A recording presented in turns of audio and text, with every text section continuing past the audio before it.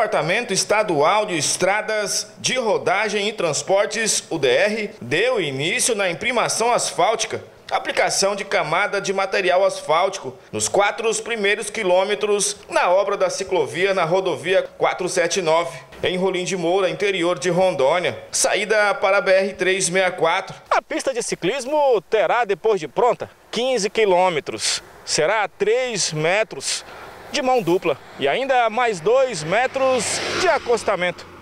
Essa pista de ciclismo aqui no município de Rolim de Moura é um sonho de quem pratica o esporte aqui na cidade.